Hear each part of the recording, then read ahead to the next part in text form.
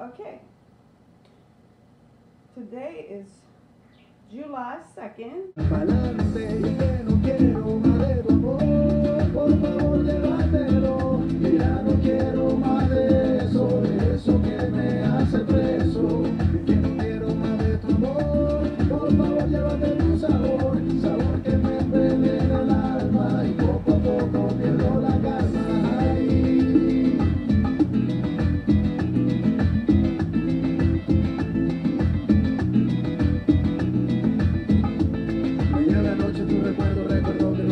No se